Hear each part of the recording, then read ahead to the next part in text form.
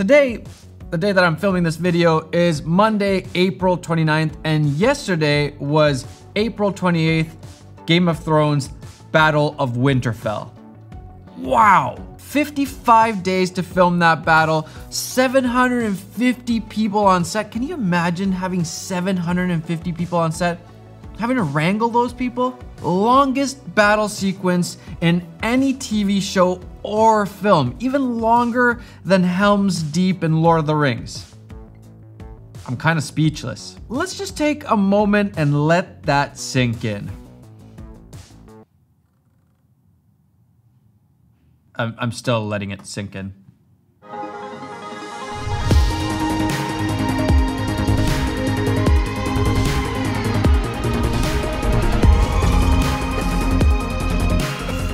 Okay, so this cinematic masterpiece, The Battle of Winterfell, got me inspired to teach you guys all of the ways that I know that you could make your footage look more cinematic. Have you ever gone out and filmed something and you thought it was gonna look really, really good, but then you look at the footage and you're like, eh, it's kind of mediocre. It's not the best that it could be. And you look at other people's footage from the same camera, same setup, and you're like, why does theirs look so much better? Well, there's a good chance that you are not using one of these techniques to make your footage look more cinematic. So I think you're gonna wanna get your pen and pad of paper and do a little checklist. Make sure that you're doing each of these techniques to make your footage look more cinematic. And we've talked about all of these things at some point in some videos, but I just wanted to combine it all into one video. So if you're kind of confused still, your footage still isn't looking the best, Here's your list. This is what you need to do. Number one, 24 frames per second. Technically it's 23.976, but 24 frames per second, this is what you wanna be filming in. If you want a soap opera look, Sure, do 30 frames per second. If you want a news look, yeah, do 50 or 60 frames per second. If you want to be the best gamer, sure, do 240 frames per second. If you want your footage to look the most cinematic you can, do 24 frames per second. The rule here is that anything you want to be real-time, normal speed, you're gonna film in 24 frames per second. If you want slow motion, sure, film in 60 or 120 or whatever, but make sure you're conforming it into 24 frames per second. Your sequence, your timeline is always gonna be 24 frames per second. I know this one's controversial. There's gonna be a ton of people saying, I like 60 frames per second do 60, it's fine. Number two is the 180 degree shutter rule, and this means that you should always double whatever your frame rates is for your shutter speed. So let's say you're filming in 24, because you should be filming in 24, your shutter speed is gonna be 48 or 50 if your camera doesn't do 48. Only for heavily stylistic reasons are you gonna use a higher shutter speed or a slower shutter speed. In general, 99% of the time, you're gonna use double whatever your frame rates is. Number three, shallow depth of field. This one's super easy to make your footage look really cinematic. And yeah, it's, it's a bit of a stylistic choice, but in general, all of the Hollywood films, all of the really great TV shows are gonna be filming in a really shallow depth of field. The isolation of your subject, that beautiful background bokeh that you get, that nice blurry background. Get yourself a fast lens and you're saying, I don't have money for that get a used 50 mil 1.8. That's like less than $100. You can definitely skip a few times going out to McDonald's or a restaurant or buying that new t-shirt or sweater and just buy the nifty 50. You're gonna get some of that really nice shallow depth of field. Number four, you wanna make your footage look a little bit more cinematic use an anamorphic crop. Just stick on some crop bars, it's really easy. Yes, it would be better to use an actual anamorphic lens, but they do cost an arm and a leg, so they're really hard to come by. They're expensive, they're hard to find really good ones, but it still goes a long way even if you just add the crop bars and it's really easy to do. For example, you can just download the Vashi Visuals PNGs and just overlay them on top of your footage. It's that easy and it's gonna make it look more cinematic. Number five, film in a log profile.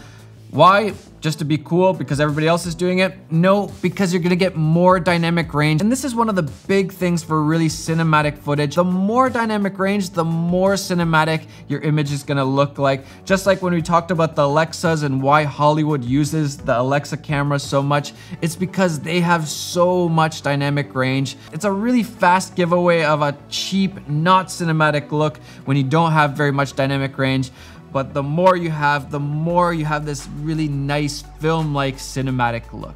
Number six, smooth movement.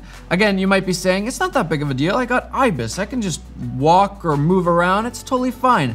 No, it makes a massive difference if you use something like a gimbal or a glide cam or a dolly. All of those things are gonna make your footage look way more cinematic. If you watch a really high quality movie or TV show, every camera movement is really carefully done and if you saw all of the background, the BTS of what they're using to do those camera movements, your mind would probably be blown. The fact that they have to do so much work for just a simple zoom in, dolly forwards, uh, yeah, it's pretty crazy. Not every shot needs to be ultra smooth, perfect, but make sure you're really thinking about how you move the camera. Number seven is your lighting, and I know this one scares a lot of you guys, but lighting is gonna make way more of a difference than if you're filming in 4K or 1080 or what lens or even camera you're using. With good lighting, you can make a really cheap camera look like a Hollywood cinematic beast. And there's tons of tutorials online that you can watch about lighting. I've done a few of them. But in general, I would say just avoid really flat lighting. Make sure the light is creating some sort of shape to your subject and it's just making it a little bit more dramatic. So for example, like here, instead of having the light just shooting straight at me, I kind of have it from the side and creates the shadow on one side of the face and bright side on one face. It just makes it a little bit more interesting. Light is one of your most important tools to make your footage look more cinematic. Number eight is the composition position. You're saying you don't have more money to spend on your footage to make it look more cinematic? That's okay. You don't necessarily need more money. All you need to do is look at your background, look at your foreground. Don't just focus on your subject.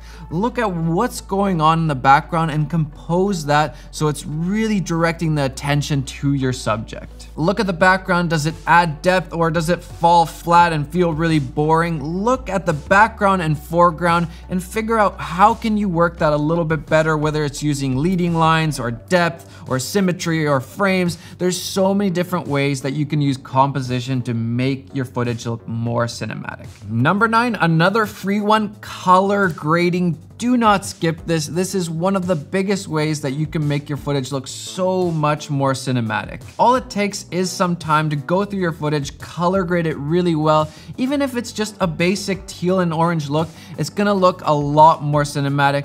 Just make sure to keep it subtle. Don't go overboard. That's again kind of like a giveaway of a cheaper look. If your subjects look like Oompa Loompas, or if there's no contrast and it just looks like a gray, blurry mess and it looks like you filmed in log and forgot to color grade. Avoid that, color grade your footage, keep it subtle, but make sure you're color grading your footage. And lastly, number 10, this one is really, really fun. Make sure you're consuming a lot of cinematic content. Watch a bunch of movies, watch a bunch of TV. You really need to train your eyes to see what's cinematic. And ideally, you would be able to watch a movie or TV show and be able to say what techniques they're using, what kind of lenses, what camera movement where's the light coming from, you would be able to tell all of those things. If you watch enough content and you have enough understanding about filmmaking, you'll learn to see it and that way you can recreate some of those techniques. You're not watching to copy other people, but you're watching to kind of develop your own style and to develop your eye to see what's cinematic and what's not. Because a lot of times it's just like a simple tweak, turning the camera a little bit or tilting it up or down or changing the light up just a little bit and it's gonna make the world of difference. Train your eyes by watching a lot of cinematic content and this one's really fun. It's really great. You can just watch for example, Game of Thrones, and then when your your mom or your dad or your husband or wife is like, "What the heck are you doing? Get to work." You can be like, "I am. I'm working. I'm studying." it's a pretty good excuse to binge watch some Game of Thrones. Okay, there you go. 10 ways that you can make your footage look cinematic. And it's great because a lot of these ways don't actually cost you any extra money. You just need to use the things that you have properly. If your footage isn't looking as good as you think it could, go through each of these and make sure you're checking off all 10 of these because it makes a big difference. And if you're saying that it's it's not that big of a deal, I don't use 24 frames per second, I, I film in 60, you're gonna have crappier results and these are the reasons why. So just go through these 10 things. If you're doing them, great. If you're not, start doing them. And who knows, maybe in a few years, you will be filming the next Battle of Winterfell. Who am I kidding? Why am I such a realist? It's very unlikely that any of us are gonna be filming something like that, but you could be working on something really cool and making it look really cinematic. Okay, get out there, go and make some really cinematic content, learn, make, repeat, and I'm just gonna go and uh, sit over there wishing that I had gotten to work on the Battle of Winterfell, because yeah, that's probably never gonna happen again. Okay, bye.